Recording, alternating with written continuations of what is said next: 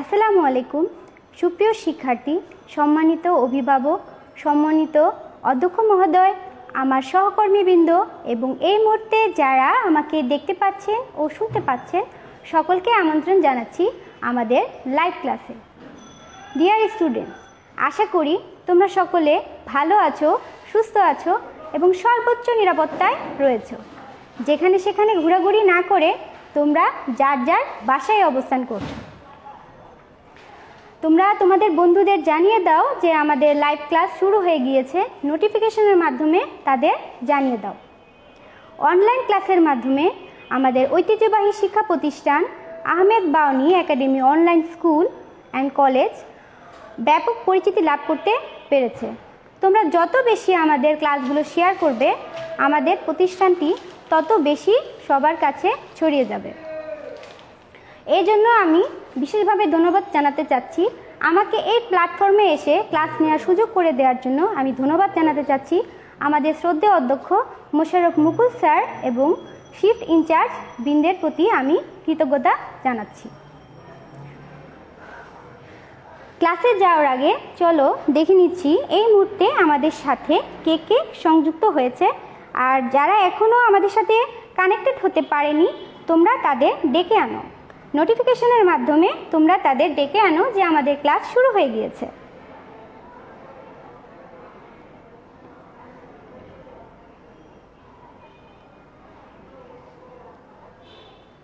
আমি একটু দেখে নিচ্ছি।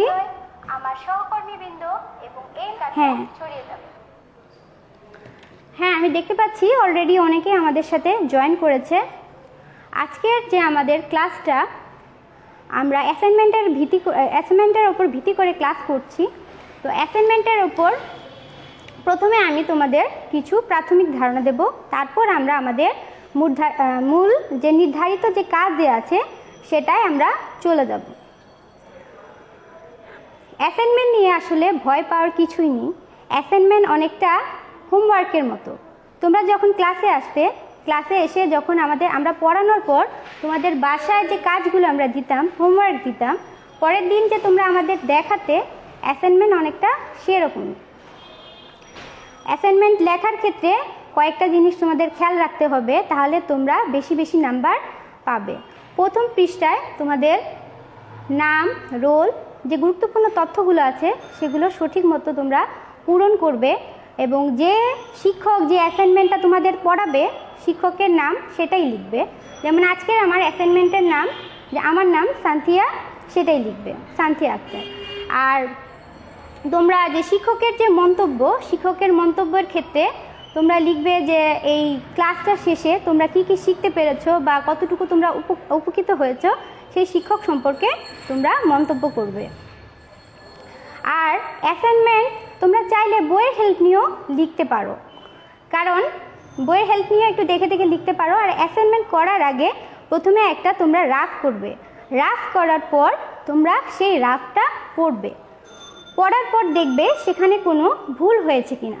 যদি কোনো ভুল বা তথ্য বাদ পড়ে যায়, যখন মূল খাতায় লিখবে, তখন তোমরা সেটা আবার সেটার সাথে সংযোজন বা করে দেবে। হাতের লেখা অবশ্যই পরিষ্কার, পরিচ্ছন্ন ও সুন্দর করে লিখবে। অপ্রাসঙ্গিক কথা লেখার প্রয়োজন নেই এবং তথ্যবহুল কথাই লিখবে। আমি আশা করছি তোমরা আমার সাথে সংযুক্ত থাকবে শেষ মুহূর্ত পর্যন্ত। তাহলে চলো, আজকে আমরা আমাদের মূল ক্লাসে চলে যাচ্ছি। সকলকে বিজ্ঞান ক্লাসে স্বাগতম জানাচ্ছি। আমি সান্থিয়া আক্তার। সহকারী শিক্ষক Ahmed Bawany Academy school and college. আজকে আমরা তৃতীয় সপ্তাহের বিজ্ঞান বিষয়ের উপর অ্যাসাইনমেন্ট করব, যে ক্লাসটা তোমাদের অ্যাসাইনমেন্ট তৃতীয় সপ্তাহে অ্যাসাইনমেন্টটা করার ক্ষেত্রে তোমাদের অনেক হেল্পফুল হবে বা উপকৃত হবা। আজকে আমরা ষষ্ঠ অধ্যায়, অর্থাৎ পলিমার নিয়ে আলোচনা করব। পলিমার পলিমার শব্দটা দুটা গ্রিক শব্দ, অর্থাৎ পলি ও মেরোস হতে এসেছে। পলি অর্থ অংশ পলি অর্থ অনেক আর মেরোস অর্থ অংশ।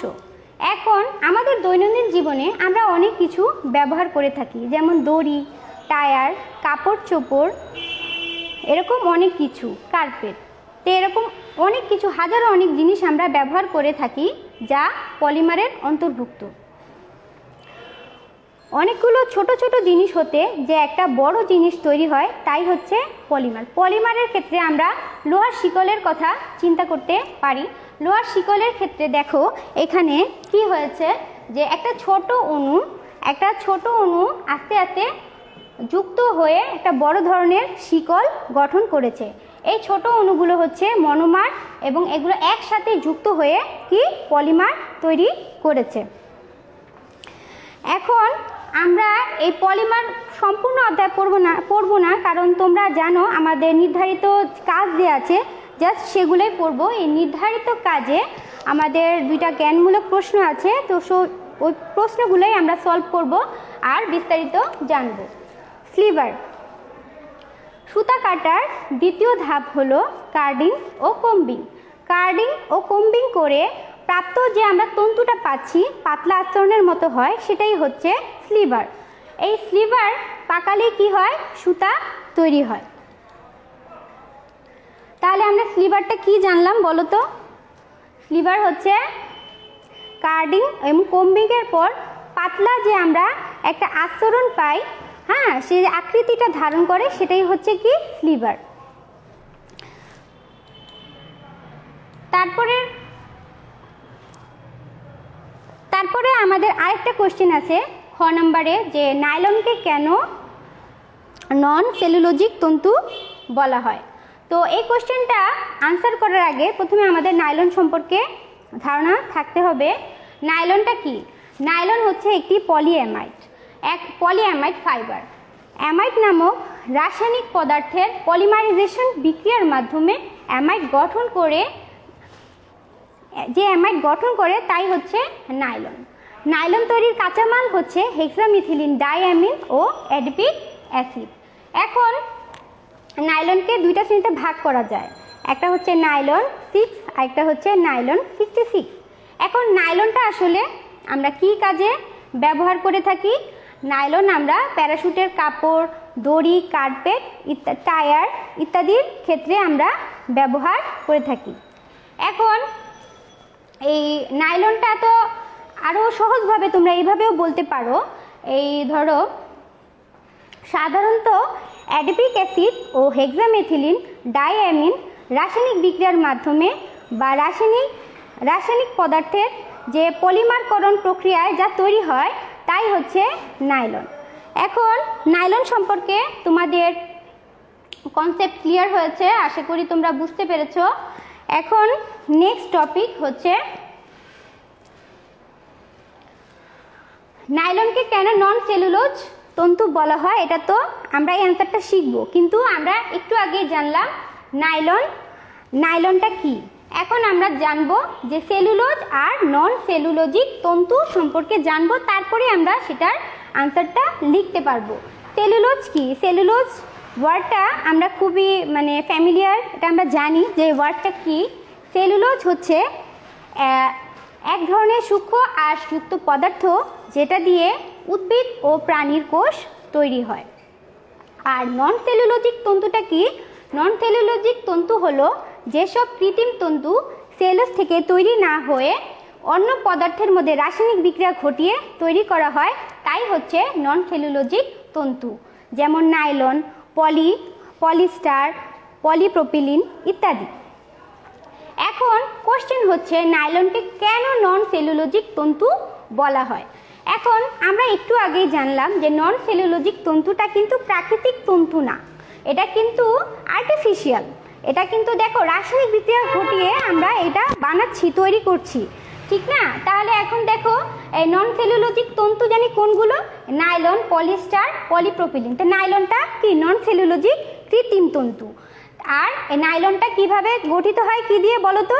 একটু আগে আমরা জানলাম যে নাইলনটা নাইলনটা অ্যাডিপিক অ্যাসিড এবং হেক্সামিথিলিন ডাইঅ্যামিনের পলিমারকরণ বিক্রিয়ায় রাসায়নিক পলিমারকরণ বিক্রিয়ার মাধ্যমে আমরা নাইলনটা পেয়ে থাকি। অর্থাৎ এটা আর্টিফিশিয়াল এটা কিন্তু ন্যাচারাল এটা কি? নন সেলুলোজিক তন্তু।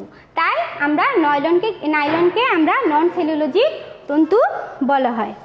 ইনশাল্লাহ আশা করি তোমরা বুঝতে পেরেছ। কারণ নাইলনটা কি? নাইলনটা কিন্তু, মনে করো নাইলনটা কিন্তু, মনে করো প্রাকৃতিক না। এটা হলো কি?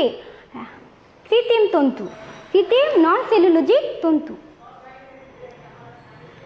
এখন চলো এখন আমরা যে আমাদের যে নির্ধারিত যে উদ্দীপকটা দেওয়া আছে, সেটা আমরা শিখব।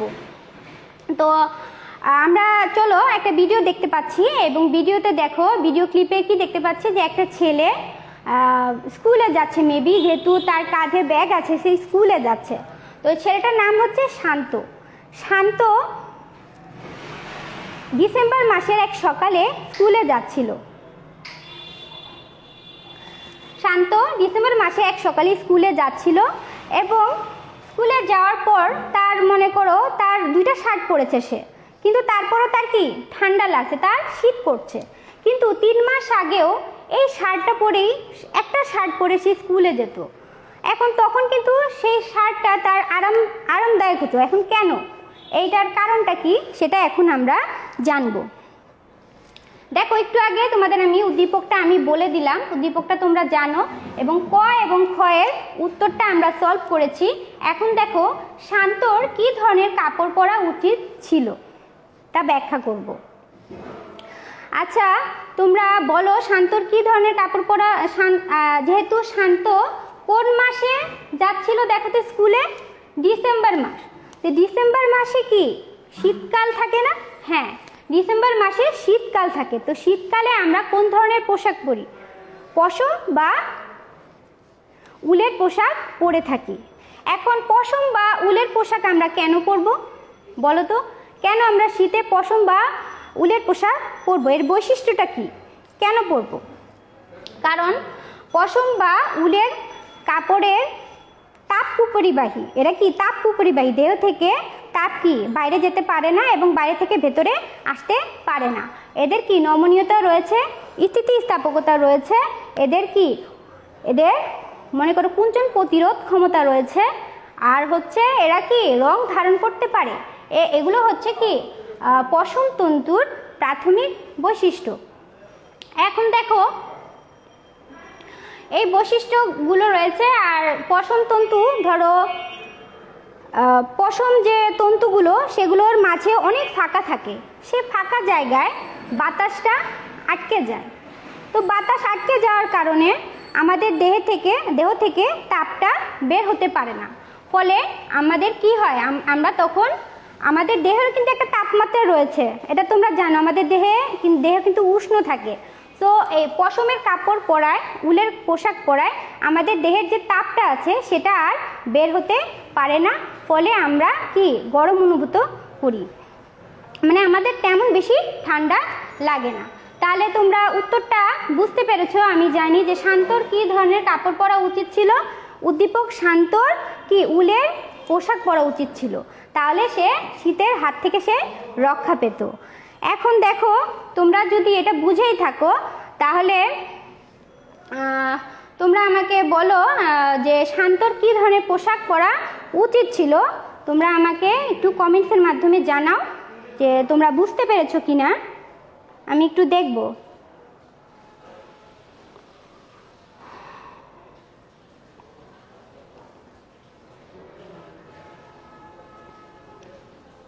কমেন্টসে জানাও যে শান্তর কি ধরনের পোশাক পরা উচিত ছিল? ফলে আমরা কি? গরম অনুভূত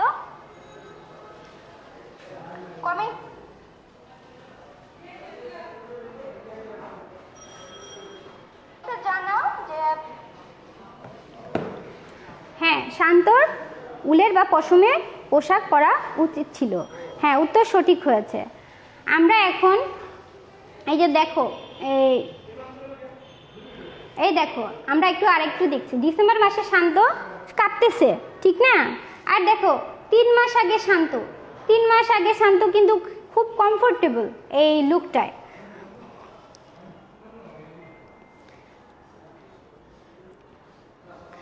শান্তর উলের পোশাক পরা উচিত ছিল। এখন দেখো, আমাদের নেক্সট টপিক হচ্ছে ঘ নাম্বার যে কোশ্চেনটা দেখো উদ্দীপকের আলোকে শান্তর ভিন্ন ধরনের অনুভূতি হওয়ার কারণ বিশ্লেষণ করো। ঘ নাম্বার উত্তরটা এখন আমরা সলভ করব। এখন দেখো, শান্তর ডিসেম্বর মাসটা কি ছিল? শীতকাল ছিল। আর তিন মাস আগে কি? তিন মাস আগে কোন মাস ছিল বলো তো? তিন মাস আগে ছিল সেপ্টেম্বর মাস।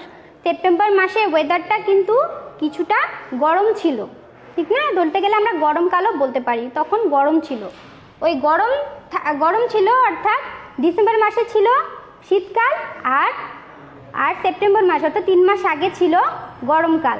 তখন আমাদের কী হচ্ছে, পরিবেশের তাপমাত্রার পার্থক্যের কারণে একই কাপড় দুই সময়ে দুই ধরনের অনুভূতি সে পেয়েছে। ঠিক না? এখন আমরা বিস্তারিত জানব। ধরো শান্ত ডিসেম্বর মাসে যে দুইটা শার্ট পরেছিল, সেটা কি ছিল? সেটা সুতি কাপড়ের ছিল। সুতি কাপড়ের হওয়ায় সুতির তন্তুগুলো তোমরা জানো যে এদের পরিবহন এবং পরিচালন ক্ষমতা অনেক বেশি। দেহের যে তাপটা থাকে, তা খুব সহজেই দেহ থেকে বের হয়ে যেতে পারে। ফলে কি হয়? আমাদের ঠান্ডা লাগে। আবার ধরো, ওই তোমরা জানো তখন শীতকালে আমাদের ওয়েদারটাও কি থাকে? অনেক মানে কনকনে শীত থাকে বা ঠান্ডা থাকে, অনেক বায়ু প্রবাহিত হয়, শৈত্যপ্রবাহ হয়। তো সেই কারণেও কি হয় যে সুতি কাপড়ের মধ্যে দিয়ে তন্তুগুলো ভেদ তন্তুর ভেদ করে যে বাতাসটা খুব সহজে আমাদের গায়ে লাগে, ফলে আমরা কি, আমাদের ঠান্ডা অনুভূত হয়। আমরা খুব বেশি, প্রয়োজনের তুলনায় খুব বেশি ঠান্ডা অনুভব করি।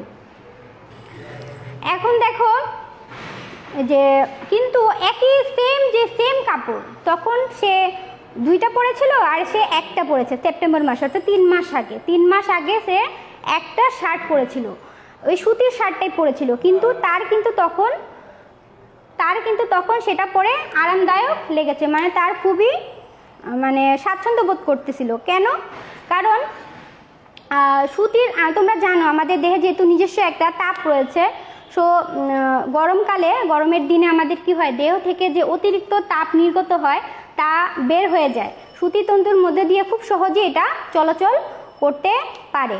ফলে ফলে কি হয়, তার ঠান্ডা, মনে করো তার মনে করো সে স্বাচ্ছন্দ্য বোধ করছে, তার কি, ঠান্ডা লাগছে কিছুটা হালকা। এখন আমি আশা করছি, তোমরা বুঝতে পেরেছ, আর তোমাদের যদি কোনো টপিকসে প্রবলেম হয় তোমরা আমাকে কমেন্টসের মাধ্যমে জানাবে, আমি পরবর্তীতে তোমাদের করাবো। এই দেখো অ্যাসাইনমেন্টটা মানে এই কোশ্চেনের আনসারগুলো তোমরা লিখবে। এখন দেখো অ্যাসাইনমেন্টের ক্ষেত্রে তোমরা, তোমাদের আরেকটু আমি প্রাথমিক ধারণা বলছি, সেটা হচ্ছে তোমরা অবশ্যই কিন্তু, তোমরা চাইলে প্রথম পেজটায় যে বিভিন্ন হেডলাইনগুলো তোমরা অ্যাসাইনমেন্ট কথাটা তোমরা কালার পেন্সিল ইউজ করতে পারো, বা তোমরা যে চারদিকের খাতাটায় তোমরা কি করবে? চারদিকে তোমরা মার্জিন দেবে।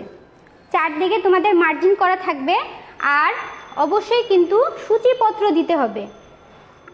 বইয়ের যেরকম পাঠ্যসূচি থাকে, যে অবশ্যই প্রত্যেকটা অ্যাসাইনমেন্টের প্রত্যেকটা পৃষ্ঠার নাম্বার দেবে এবং নাম্বার দেওয়ার পর যে সূচিপত্র লিখবে। সূচিপত্র যেমন ক ক প্রশ্নের উত্তরটা কোন পাতায় আছে? ধরো তিন নাম্বার পৃষ্ঠায় আছে, অবশ্যই পৃষ্ঠা নাম্বার দেবে। খ নাম্বার প্রশ্নের উত্তরটা তিন থেকে চার পৃষ্ঠায় আছে। এরকম করে তোমরা সাজাবে। আশা করি তোমরা যদি এই গুরুত্বপূর্ণ জিনিসগুলো মনে রাখো, তোমরা অবশ্যই অনেক ভালো নাম্বার পাবে। আর তোমরা অবশ্যই শেয়ার করবে আমাদের ক্লাসগুলো তোমরা যদি শেয়ার করো, তাহলে খুব আমাদের যে অনলাইনের যে প্ল্যাটফর্মটা খুব শীঘ্রই আমরা সবার কাছে পরিচিতি লাভ করতে পারব। আমার ক্লাসটা মনোযোগ সহকারে দেখার জন্য তোমাদেরকে ধন্যবাদ জানাচ্ছি। তোমাদের সাথে আবার দেখা হবে। সবাই ভালো থেকো। আল্লাহ হাফেজ।